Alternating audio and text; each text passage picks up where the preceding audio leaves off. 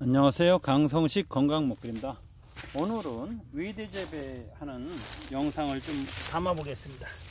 여기는 지금 3년생이고요. 식재한 3년차. 첫 해 여기 자르고 여기 자르고 그래서 3년 했던 이제 올해가 이제 3년차 들어갑니다. 그리고 외대 재배할 때 특징이 좀 어, 간편하다고 그랬죠 지금 이게 CC롱인데 외대 재배는 여기서 한 요 정도 한 무릎으로 말하면 뭐 무릎 밑에 정도 무릎 위로 안 가고 이렇게 한 번에 이렇게 잘라 줍니다. 그러면 이제 전지가 끝난 겁니다. 그리고 이렇게 외대 재배는 그 호박 집게로 했기 때문에 자르고 나서 이게 어 쓰러지지 않습니다. 그래서 좋은 점이 있고요. 다시 한 번 더 해보겠습니다. 외대 재배는 뭐 한 20에서 한 50cm 사이 정도 뭐 높게는 60cm 정도 잘라도 됩니다. 저는 이 가위 정도 하는데요. 외대 재배는 이렇게 상당히 간단합니다. 이렇게 어, 자르고 나도 전지가 끝난 거예요. 이건 이제 파쇄할 거예요. 요건 지금 지지했던 것 때문에 쓰러지지가 않습니다. 그래서 잘만 하면 외대 재배가 일손이 상당히 절약됩니다. 물론 단점도 있어요. 근데 저희 어, 저 같은 경우는 외대 재배를 계속 해나갈 예정입니다. 작년도 외대 재배를 했고요.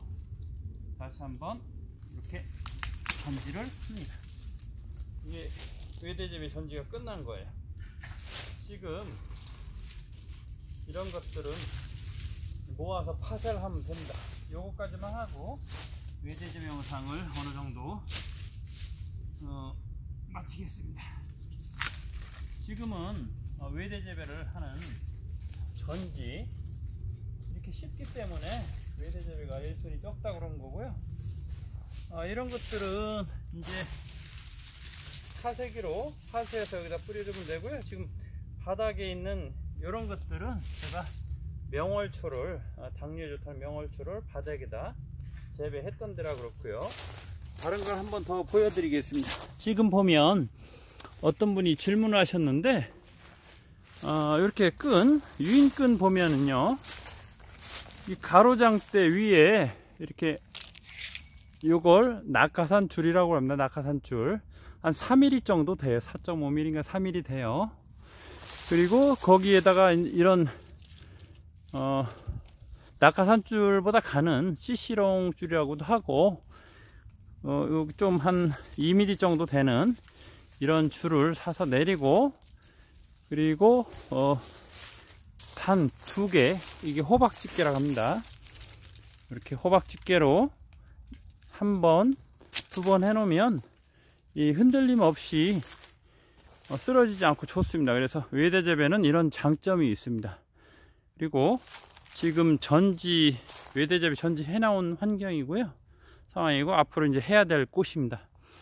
저는 6m 아, 한50 정도 된 데에 네 줄을 심었는데 그리고 어 가운데 두 줄은 90cm 간격으로 두 줄 심고 주간 간격도 90cm를 찍었는데 이건 조금 초보자가 하기에는 좀 많이 심어진 것 같기도 해요. 저는 해봐서 그냥 할만한데 거리가 좁으면 좁은 대로 전지를 할 수가 있어서 여러분들은 한 1m나 1m 20 정도 어, 주간각에 띄워서 현실에 맞게 본인 상황에 맞게 해주시면 되고요. 오늘은 어, 오늘은 그 2월 15일입니다. 아, 3년차 하우스 3년차 저 뒤쪽 편에는 4년차 되는 사과대추 나무도 있는데요. 전부 다 이렇게 한 30에서 50cm 사이에 바닥부터 30에서 50cm 사이에 잘라서 오늘도 외대 재배 어, 올해도 외대 재배를 할 계획입니다. 어, 오늘 강성식 건강 먹거리에서는 손쉬운 외대 재배 어, 전지에 대해서 말씀드렸고요. 혹시 질문사항 있으면 질문해 주시면 되고 제가 하나만 더 해보겠습니다. 좀 제법 굵은 어, 그런 나무들은 한 번에는 안 되지만 이건 좀 굵습니다. 생각보다 지금 잘랐던 것보다 한 이쯤 한 40cm 정도 되겠네. 40에서 45cm 정도. 이쯤에 제가 절단을 해 보겠습니다.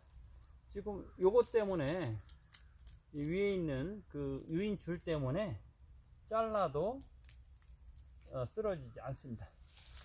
이게 한 번에 이렇게 됩니다.